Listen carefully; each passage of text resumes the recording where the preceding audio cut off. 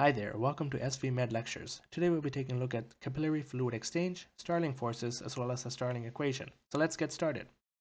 In the body, fluid can exist in one of two places, either inside of cells, which we call the intracellular compartment, or outside of cells, which we call the extracellular compartment. The extracellular compartment is further divided into the intravascular space within the blood vessels, as well as the interstitial space between the cells. In this lecture, we'll be taking a look at the Starling forces as well as the Starling equation in relation to the fluid, movement between the intravascular space, in particular the capillaries, and the interstitium. So this is a nice schematic of the fluid compartments in the body. Here on this side, we have the intracellular compartment inside of cells, and here on this side, we have the extracellular compartment outside of cells, which is further divided into the interstitial space as well as the intravascular space, in particular inside of capillaries and movement of fluid across this blood vessel wall is normally tightly regulated so that the right amount of fluid is present in the blood vessel as well as the interstitial space. But however, this process can break down, and as a result, an increased volume of fluid can exist in either of these two spaces, and these can cause clinical symptoms. Say, for example, if you had an increased volume of fluid in the interstitial space, that can cause edema, whereas if you had an increased volume of fluid in the intravascular space, that can cause hypertension. So what are capillaries? Capillaries are small, thin blood vessels that connect the arteries and the veins. Their thin, thin walls allow oxygen, nutrients, carbon dioxide, and waste products to pass to and from the tissue cells. Capillaries have a semi-permeable membrane, which means that they allow certain substances to pass through it, but not others. It, they are impermeable to plasma proteins, but permeable to water, ions, and other small solutes. So now let's take a look at the Starling equation right here we have four forces as well as two factors. The forces determine the direction of fluid movement. They are the two hydrostatic pressures as well as the two oncotic pressures. The factors determine the amount of fluid movement. They are the two coefficients, the fluid permeability coefficient as well as the reflection coefficient for proteins. So now let's take a look at the four Starling forces, the two hydrostatic pressures as well as the two oncotic pressures or colloid osmotic pressures. We have the hydrostatic pressure in the capillaries, the hydrostatic pressure in the interstitium, the oncotic pressure in the capillaries, as well as the oncotic pressure in the interstitium. So what is meant uh, by hydrostatic pressure? Hydrostatic pressure is a force generated by the pressure of the fluid on the capillary walls, either by the blood plasma or the interstitial fluid. Hydrostatic pressure in the capillaries occurs when there's an increased pressure of fluid inside of the capillaries, and this is a result of the pressure coming from the heart pumping. The hydrostatic pressure will move fluid from the capillaries into the interstitium, as represented by this arrow here. Whereas the hydrostatic pressure in the interstitium occurs when there's an increased pressure of fluid in the interstitium compared to inside of the capillaries. And as a result, this hydrostatic pressure will move fluid from the uh, interstitium into the capillaries, as represented by this arrow right here. What is meant by oncotic pressure? Oncotic pressure is exerted by the proteins either in the blood plasma or the interstitial fluid. And these proteins attract water to the hydration shell of these, these uh, proteins. Oncotic pressure occurs when there are two fluid compartments with different solute concentrations that are separated by a semi-permeable membrane. And since capillaries are semi-permeable, the more concentrated part of the extracellular compartment, usually the capillary, will move water towards it, as represented by this arrow right here. However, if there are more protein solutes in the interstitium, then the oncotic pressure in the interstitium increases, and as a result, water will move from the capillaries into the interstitium as represented by this arrow right here. So now let's take a look at the two factors. We have the capillary fluid permeability coefficient, Kf, as well as the reflection coefficient for protein, sigma, and these two factors determine the amount of fluid movement. So Kf determines the permeability characteristics of the membrane to fluids. If capillaries become more permeable, then more fluid can move across the membrane. However, if the uh, capillary barrier is thickened, a process referred to as sclerosis, movement will be restricted.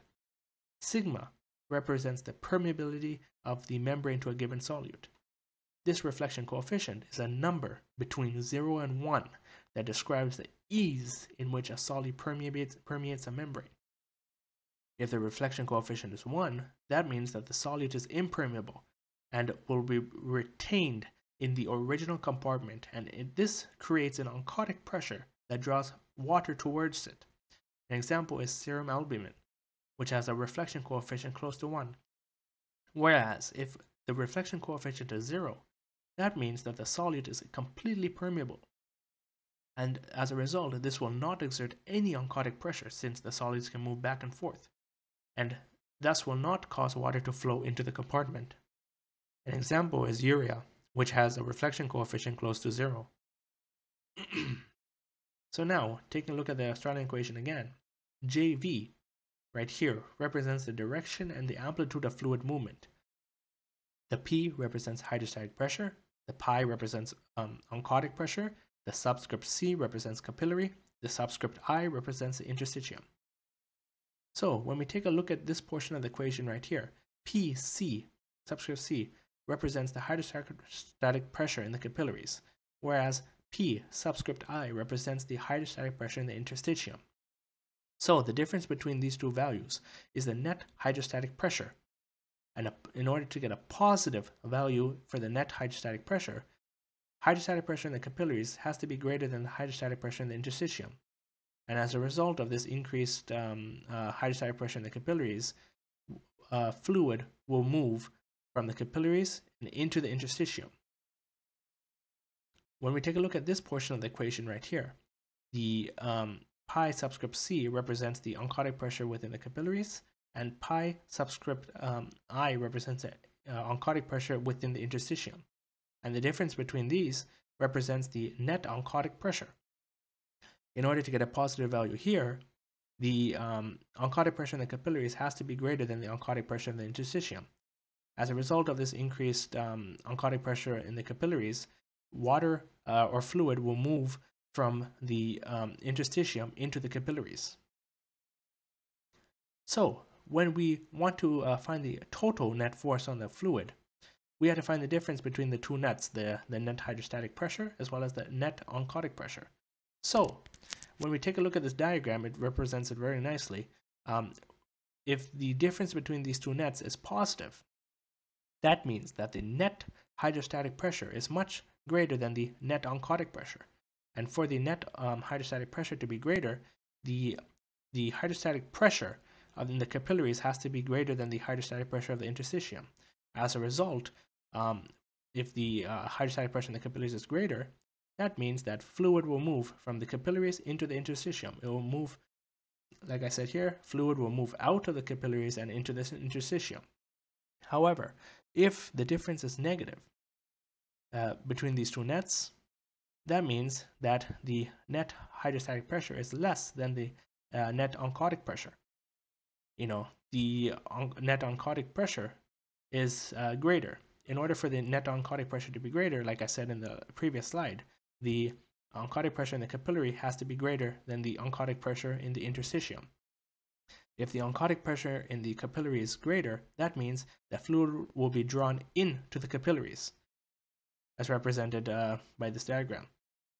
So when we put everything together, um, the calculated numerical value represents the amplitude of the fluid movement, whereas the sign in front of the numerical value represents the direction of fluid movement.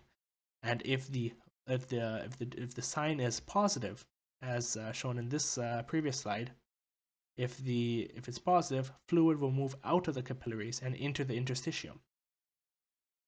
Whereas if the sign in front of the numerical value is negative, fluid will move from the interstitium into the capillaries. So that is the end of uh, this lecture. Uh, remember to never give up on your dreams. Just like Netflix. Netflix started back in 1997. They only started with um, selling and renting out DVDs. Now look at them. They're, they're probably the, one of the most notorious online streaming platforms. The reason being because they didn't give up their dreams. So good luck with all your studies. Wishing you all the best. Please like and subscribe. Thank you. Take care.